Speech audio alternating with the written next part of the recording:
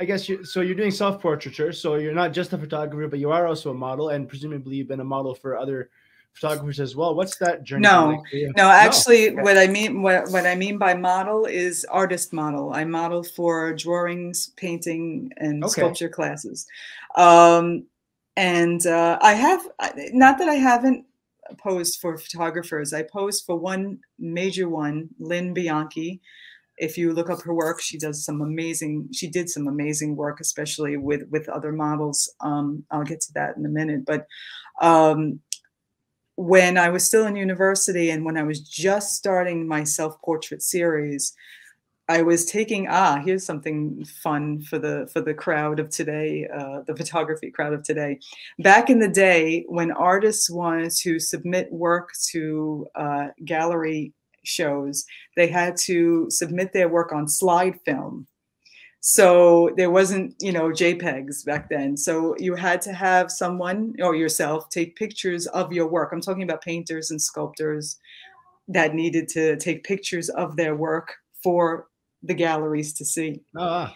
So they would hire a photographer to take the pictures of their artwork. So that's where I came in when I was taking making a little extra money to to, to the pictures for them, and I was taking pictures of a watercolor um, artist's work.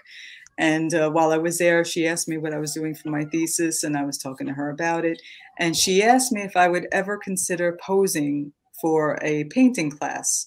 And I took drawing classes in school where I was drawing from the model, and I loved doing that. And I always had a little bit of jealousy and said, Oh, wouldn't that be cool if I was able to do that? But I was also so uh, terrified with the way I looked, and so, uh, you know, I didn't let myself think, Oh, I, I, could be a model. So I didn't think about it.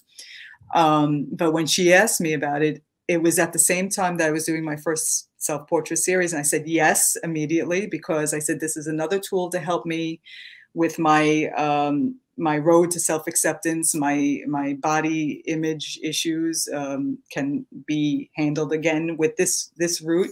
So I started to do the two simultaneously, and that became that's my job. That's that's how I make my money and pay my bills is as a as an artist model. So I've been doing that for almost the same amount of time, 25 years.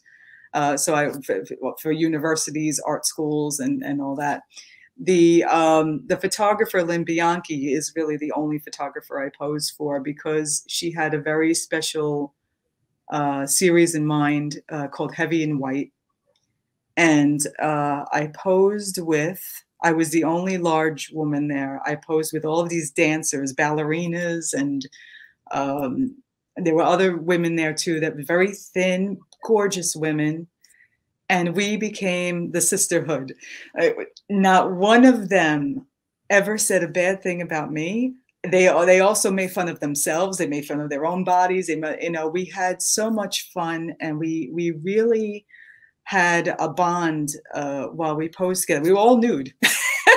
it was it was like one big party um, and it was but it was really it was it was an eye opener too because these women uh, accepted me like their own. You know, it was it was you know where I grew up. You know, in the '80s where um, the girls would tease me because I was fat and uh, you know I was never accepted from by anybody. So here's here are these beautiful ballerina women and and they they thought I was beautiful. They said I was beautiful, and I would cry, and we would hug, and we would, you know, it was such a wonderful thing.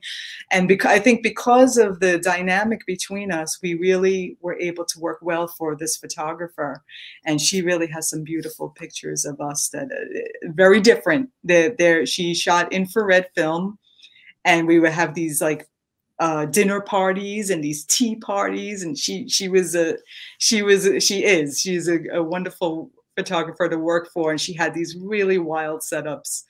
And um, if anyone wants to go see her lynn bianchi you can find her website too